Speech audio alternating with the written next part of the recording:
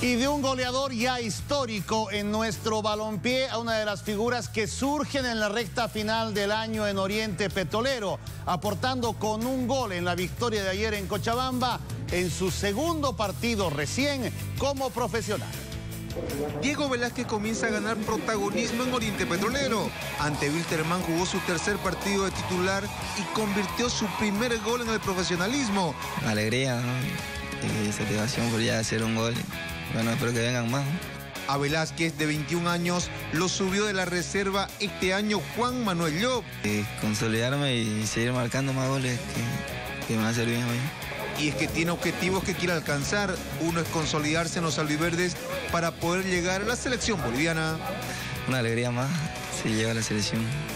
Su parecido facial y físico con Mauricio Chactur Velázquez lo toma con buen humor. sí, ya no, de tiempo atrás ya me decían ya. Eh, lo conozco de vista, sí. Sí que nos parecemos.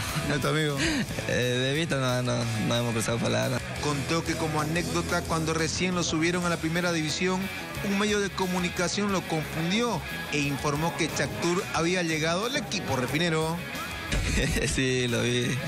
Eh, nada, ya él habló conmigo, se, se equivocó. Eh, nada, no pasa nada, le dije.